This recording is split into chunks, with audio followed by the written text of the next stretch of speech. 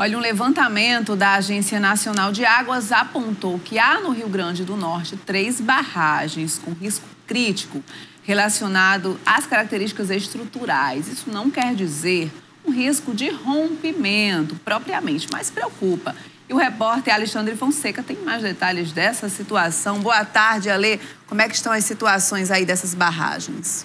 Boa tarde, Natália. Boa tarde para você que está acompanhando o nosso TCM Notícia. A gente está aqui direto da redação de jornalismo para trazer essa informação para você. Pois é, a partir de um levantamento realizado pela Agência Nacional de Águas e Saneamento Básico, a ANA, foram identificadas aí três barragens que estão nesse processo de risco e em relação à sua estrutura, a falta de projetos, a questão também de manutenção, de operação, os cuidados que são necessários para as barragens se manterem equilibradas. Né? E aí, é, quais são essas barragens? A gente tem Algodoeira do São Miguel, que fica em Angicos. A preocupação das autoridades com essa barragem é relacionada à passagem de água de um lado para o outro por meio de uma fissura.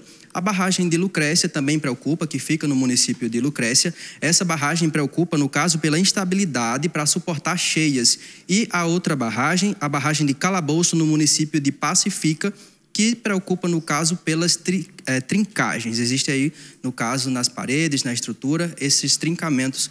E aí é, o monitoramento justamente serve para levantar né, esses pontos que precisam de restauração.